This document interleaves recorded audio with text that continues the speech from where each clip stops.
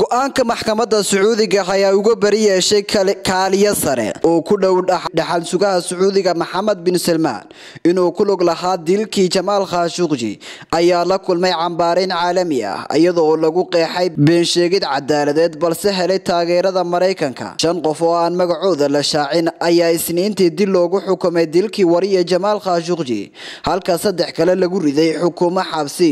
oo marka la isku geeyay gaadhaya afar iyo labaatan sannadood sarkaal ka tirsan wasaaradda arrimaha dibadda maraykanka ayaa go'aan ku qeexay tallaabo muhiima oo lagula xisaabtamayo kuwii ka dambeeyey dilka waxaan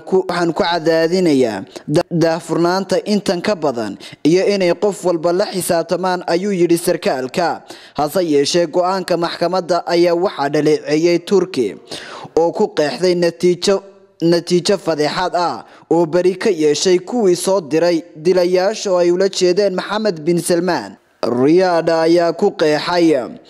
dilkii khashuqji inuu ahaa howlgal fallaago oo dhaxal sugaha uusan wax kaalin ah ku lahayn hase yeeshee c i e da maraykanka iyo ergeyga gaarka ah ee qaramada midoobay